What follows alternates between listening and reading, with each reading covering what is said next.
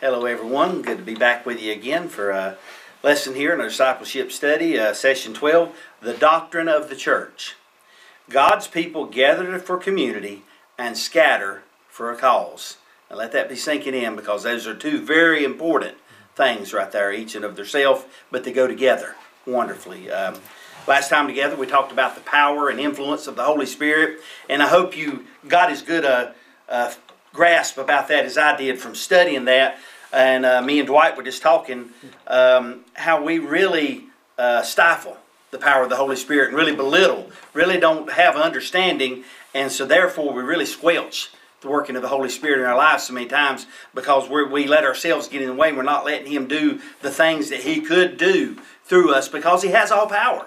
He has the power of Jesus Christ working through our lives if we just allow it to happen. It really does. And so, um, like I said during that lesson too, if if the Holy Spirit, if we're not experiencing the Holy Spirit working in our life, um, we need to change. It's us that needs to change. We need to less of us, more of Him. Less of us, more of Him. Before we get started, do want to go to Lord in prayer. Um, I want to thank Him for all that He does for us. Uh, he does law. He's done so much already, and then there's so many things that we don't even realize the uh, the work of the Holy Spirit around us all the time. I'm sure I don't. I sometimes I do uh, get the um, joy of being able to look back sometimes and say, you know, that was nothing but the power of the Holy Spirit working right there. That's what that was in my life. It sure was. It wasn't luck. It wasn't happenstance or chance. No, it, it was the work of the Holy Spirit around me is what it was. Sure was. Um, want to confess our sin. Really do. Always want to confess our sin to God. He, he knows about it anyway. He really does. He knows all about us. Confess it, and then most importantly, repent. Repent of those sins. So we can get those under the blood and move on and work for Him. Not get by tied up and bogged down in it. Just confess it, repent, and move on and let the Holy Spirit work in us. Um, I want to pray once again for our hearts and minds to be open so we can receive um, the words that He has and get the understanding that we need for what we're talking about tonight. So let's go to Lord in prayer. Heavenly Father, we come thanking you so much for sending your Son to die for us. Lord, we come confessing our sins uh, Lord, repenting of those sins as we confess, Lord, knowing that we've grieved you, we've grieved the Holy Spirit, Lord, we know that, and we're so sorry. Lord, but we're so thankful for your forgiveness. Lord, help us as we study tonight, Lord, to open our hearts and minds to receive everything that you would have us to hear and hear and understand tonight. Everything. Uh, Lord, don't, don't let us close ourselves off to you, Lord. Help us to stay open to the leadership of your Spirit. We'll give you the honor and glory and praise. For it's in your name we pray. Amen. Picture the following scenes. Got about five of them here. A small group meets in secret, quietly huddling in a subdued living room. Their presence isn't legal in Saudi Arabia. If they're caught, some could be sent to prison, others could lose their lives. The room falls silent as they hear footsteps outside their door. Thousands of affluent suburbanites gather in a large, state of the art building in Atlanta. The lights, video, and production represent the best of the best. People come dressed in casual clothes, carrying their coffee into the worship center. The band cranks up and the room is flooded with moving lights and haze. The people begin to worship and their hands and voices are raised. Everyone wears white jumpsuits. Guards are posted around the room. As men file in, smiles break across their faces. A band begins to play upbeat music, which fills the hopeless space with joy. The men clap their hands in celebration. A man comes to the microphone and declares, Brothers, we were once free on the outside. Now we may be in prison, but we are free on the inside. An organ plays as robed choir members sway back and forth to the music. Even though there are few, they make a joyful noise. The people are sitting in old pews, meeting behind stained glass windows that picture the life of Jesus. Pastor gets up to proclaim hope to his congregation. Outside, the drug dealers and gangs make inner city Detroit a fearful place to live. only one light bulb illuminates the cinder block building. People rode in the back of pickup trucks for several miles to get there, traversing the jungles of Guatemala. Most hadn't eaten all day, but after the service is over, they will share tortillas and soft drinks. Someone stands with a guitar and begins to lead out in a song. What all these have scenes have in common? The church, not just a building, a group of people that have come together to worship the Savior. What comes to mind when you hear the word church? You know, I'll admit when my younger life is always a building. That's what I thought of with a steeple on it, high ceiling, those kinds of things. Um, you know, for some people, maybe music is the first thing they think about. You know, the old rugged cross or any of the newer songs, whatever. Maybe a preacher. Is that what you think about when you hear the word church? Or is it maybe the people, like we were talking about, all these different people that met? And I can relate to some of those. Uh, that last one there, I'll go ahead and put a little plug in for uh, our trips to Honduras. Uh, we've seen that exact type of condition. And it's going on down there now. One of the guys just asked you to pray for him down there as he ministers in a place that uh, sounds just like that, except for the fact that he probably don't have the light bulb. It's probably minus the light. But people come for miles just to worship just to worship. The early church was a powerful movement that was both initiated and sustained by God. People were saved, lives were transformed, the gospel was preached, and people were sent out to tell the nations about Jesus. Yet, even in the early church, there were times when Christians needed reminder to continue meeting and fulfilling their purpose. In this passage below, the author of, author of Hebrews reminded his fellow Christians about the wonderful access they have to God because of Jesus. He encouraged them to continue gathering together as a church to fulfill their missions. It's going to be reading in Hebrews chapter 10, verses 19 through 25. Therefore, brothers and sisters, since we have boldness to enter the sanctuary through the blood of Jesus, he has inaugurated for us a new and living way through the curtain, that is, through his flesh and since we have a great high priest over the house of God, let us draw near to a true heart in full assurance of faith, with our hearts sprinkled clean from an evil conscience and our bodies washed in pure water. Let us hold on to the confession of our hope without wavering, since he who promised is faithful. And let us watch out for one another to provoke love and good works not neglecting to gather together as some are in the habit of doing, but encouraging each other, and all the more as you see the day approaching. You know, what's our initial reaction to these that passage as we read that? Well, for me, as I look through it there, is saying, have confidence in His Word. He has told us, He has made us promises of what will happen if we'll but obey. And then it talks about supporting and encouraging each other. Because we all have struggles. I know in the early churches we read about and especially we're going to read about some uh, verses, some verses here shortly in here. Uh, it sounds like everything was just going great. You know, everything was perfect. And it may have been better than it is now, but they still had people there. So you know what? They still had problems.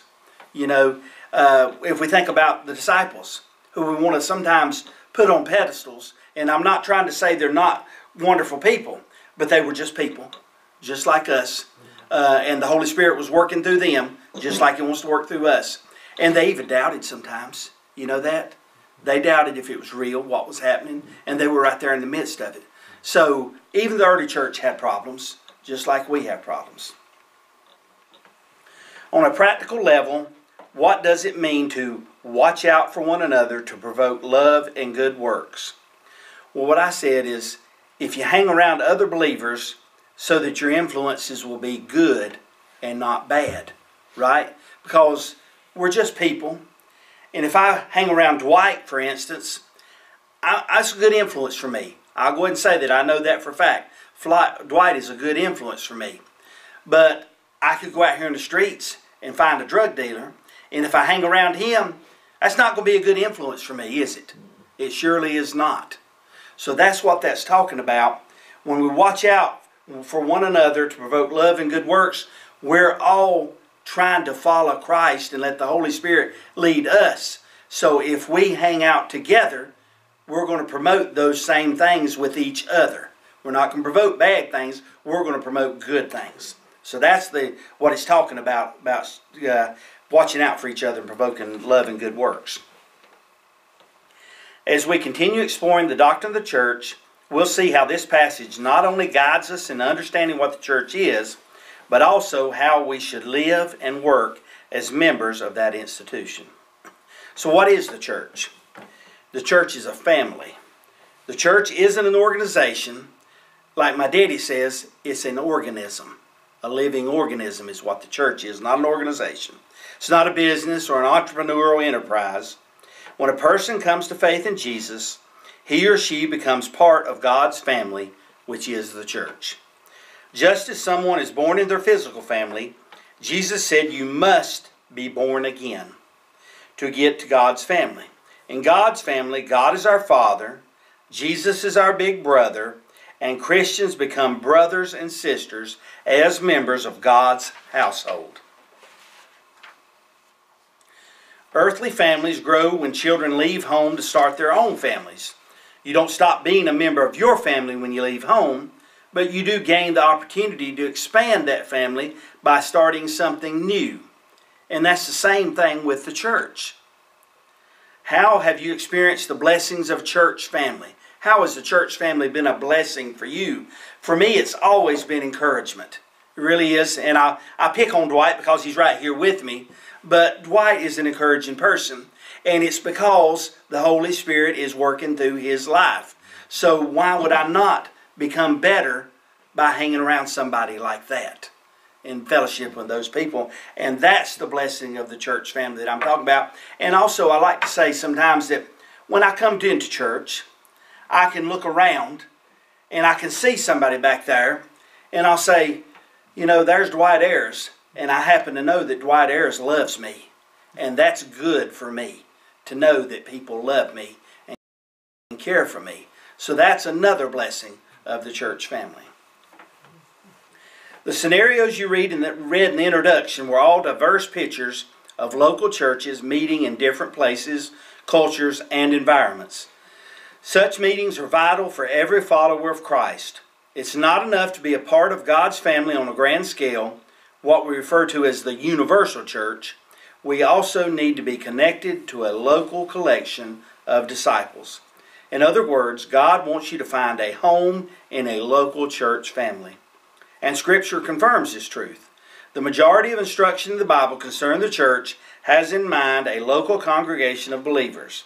In fact, it would be a foreign concept to the biblical authors to think about being in the universal church without attending a local church.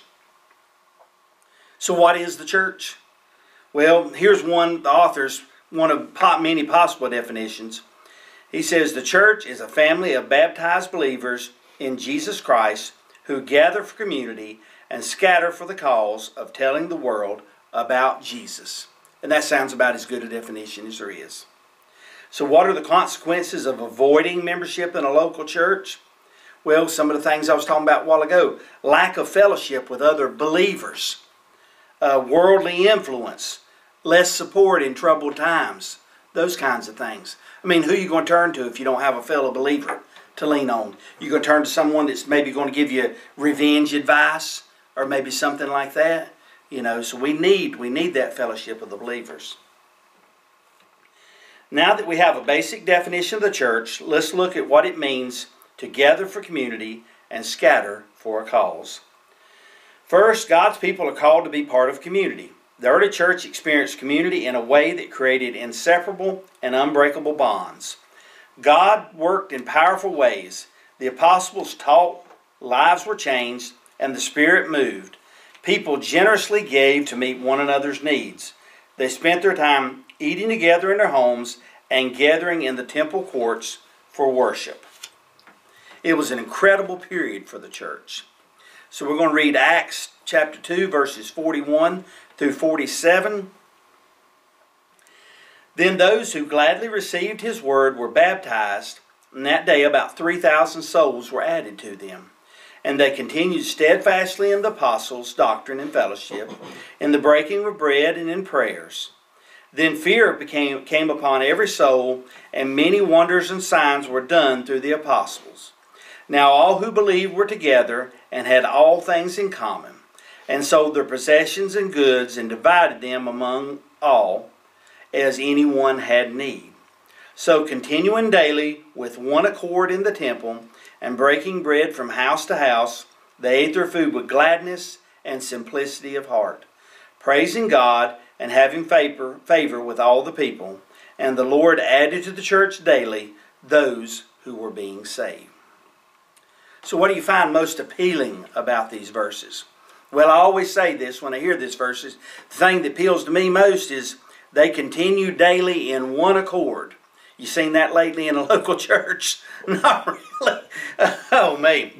Well, the reason that appeals most to me and the reason that is so important in this thing of Scripture, because it brings about a huge realization the fact that they were all submitting themselves to the leadership of the Holy Spirit. That is the only way that they could be in one accord, is the fact that they were all being submitted to the Holy Spirit. So the Holy Spirit was leading them all in the very same direction. So that way they had to be in one accord. And I've, I've heard many people say before, well, the Holy Spirit's leading me in this direction. And somebody said, well, the Holy Spirit's leading me in this direction. And they would be talking about the same project they're working on. Well, I'm here to tell you the Holy Spirit ain't leading both of you in two totally opposite directions. It ain't happening. It cannot happen. The Holy Spirit does not want to confuse people. One of those two people, at least one of those two people was wrong. both of them could have been, I don't know. But anyway, yeah, when somebody said the Holy Spirit's leading them in a direction, you better be pretty sure before you tell them the Holy Spirit's leading in a different direction. Because it, He's not leading in two different directions. That ain't happening.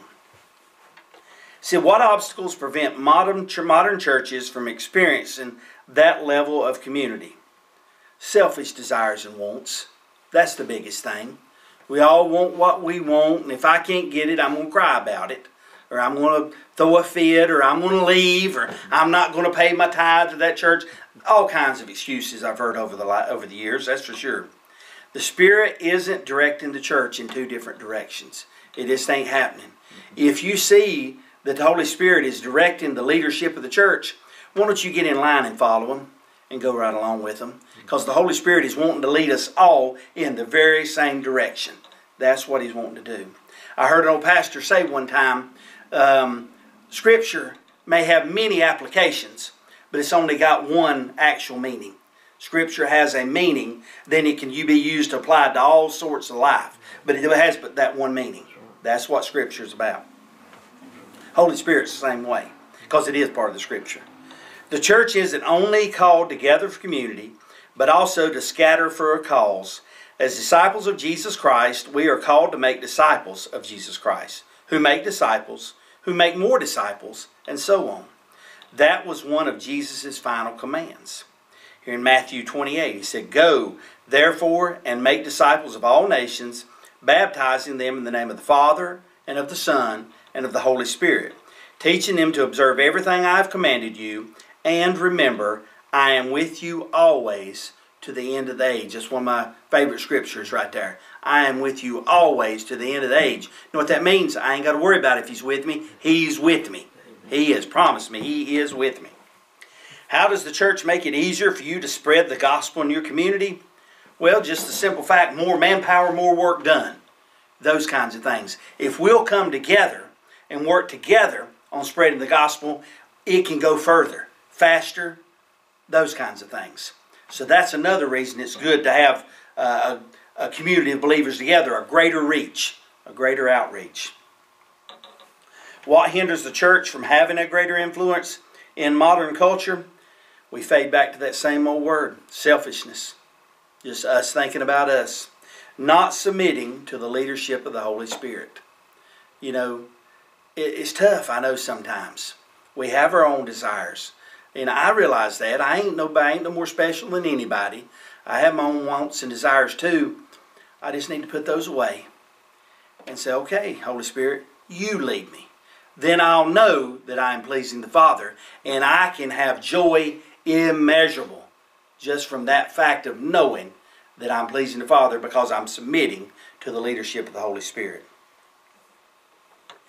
We've learned that the church has two primary functions to gather for community and to scatter with a cause.